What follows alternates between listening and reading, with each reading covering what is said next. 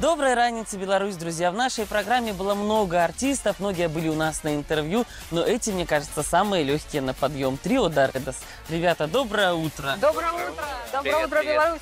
У меня первый вопрос. Вот э, наши зрители вас как людей не сильно знают, но знают вашу музыку. Как вы появились? Э, Как группа мы создались в далеком 2011 году. Мы вообще родом из э, э, маленького города в Приднестровье, который называется город Рыбница.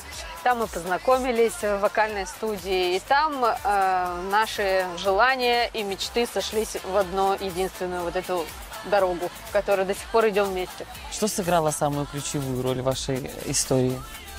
Наверное, все-таки это была новая волна. своей ручкой на моей ручке телефон. Напишу своей ручкой на твоей ручке телефон. Новая волна э, дала нам э, другой уровень, э, новые знакомства и легендарное и значимое для нас знакомство с нашим другом и наставником Филиппом Бедросовичем Киркоровым. Поддерживайте связь с королем. Конечно, мы регулярно с ним переписываемся, мы поздравляем друг друга с праздниками, днями рождения, иногда бываем в гостях. В этом году вы приезжали на Славянский базар и исполняли композицию Евгения Оленника. Хотела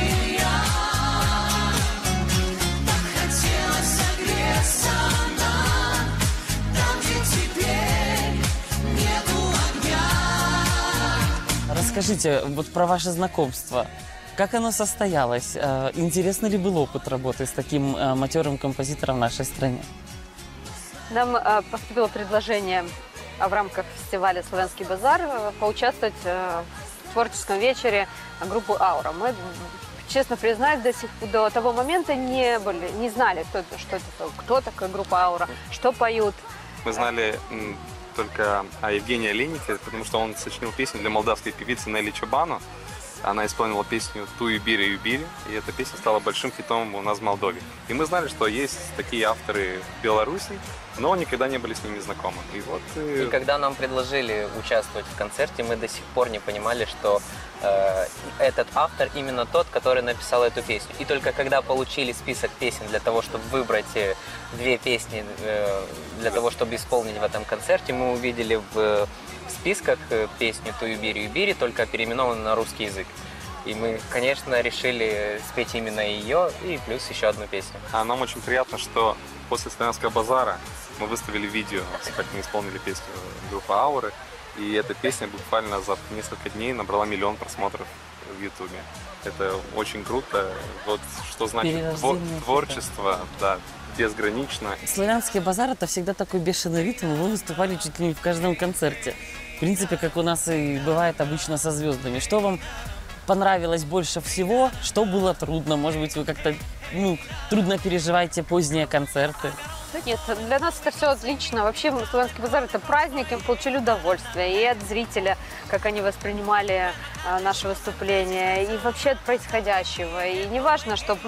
Очень, я, например, лично переживала, что вот концерт, который «Золотые хиты», который идет ночью, что людей не будет, как кто придет, а оказался полный зал. Это самый, один из самых рейтинговых концертов, кстати. Да, для меня тоже было странно э, именно концерт «Золотой хит», потому что понятно, когда молодежь отдыхает в клубе в 2 часа ночи, это нормально. А когда ты видишь э, не только молодежь в зале э, и зал полный, для меня это было очень большим удивлением. А когда еще весь зал подпевает тебе и стоя, стоя аплодирует, это высшая награда для артиста.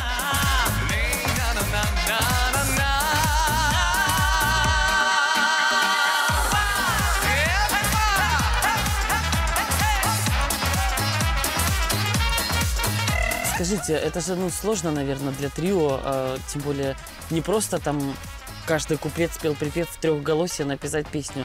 А, как вы работаете с авторами? Вы заказываете ну, что-то, как предложения вам поступают? Последняя песня, да, вот, которая состоялась премьера, это первый раз мы работали по заказу с автором. До этого мы писали песни сами. Ее зовут Алена Роксис, которая написала нам эту песню она сумела нас прочувствовать, и буквально, мне кажется, вот сразу, когда мы получили демо-вариант этой песни, не было никаких э, вопросов, кто где будет петь, как-то это все было понятно. И, слава богу, у нас пока не, не было таких проблем. И, можно сказать еще, то, что мы готовим еще несколько песен, и примеры состоятся буквально через три недели, будет нов, новый сингл, новый сингл, поэтому следите за нашими соцсетями, у нас еще будет очень много песен мое счастье, ты мой покой. Мне хорошо, так хорошо рядом с тобой.